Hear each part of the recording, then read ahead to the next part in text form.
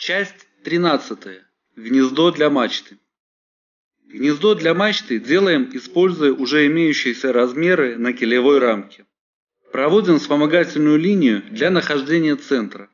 Ставим в этом месте точку. Ставим точку в нижней части гнезда. В окне Write начинаем рисовать контур гнезда. Из нижней точки проводим линию 2 мм. Затем от конца этой линии вниз.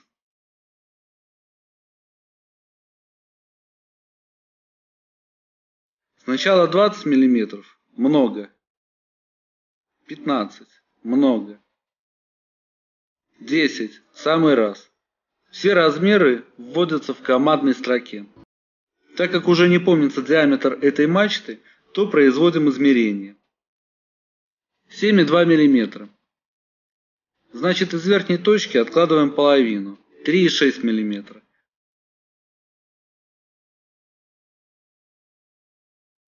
Затем вверх 10 мм.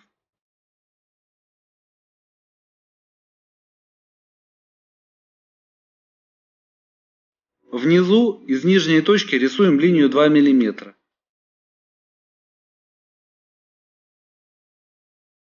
А затем линию вверх под некоторым углом. От верхней линии проводим линию до касания с наклонной. Этой же линией обрезаем наклонную.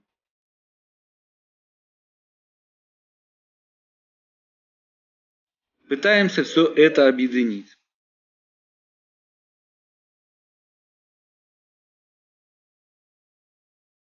Отзеркаливаем и снова объединяем. Соединяется не все, так как линии в разных плоскостях.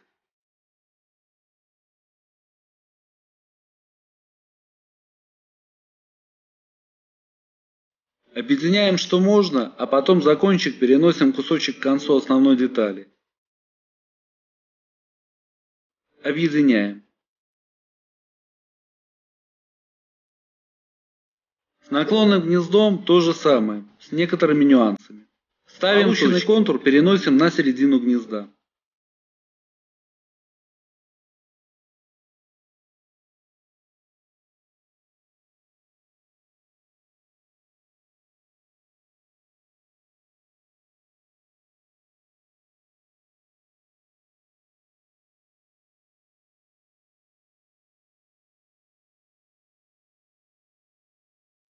От верхней точки по оси мачты проводим линию 10 мм.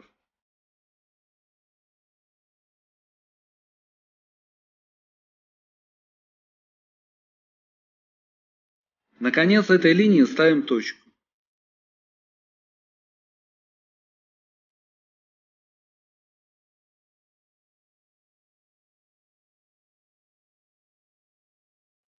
Так как ось имеет наклон, то измерение диаметра гнезда надо делать командой Aligned Dimension с использованием привязки perp, перпендикуляр.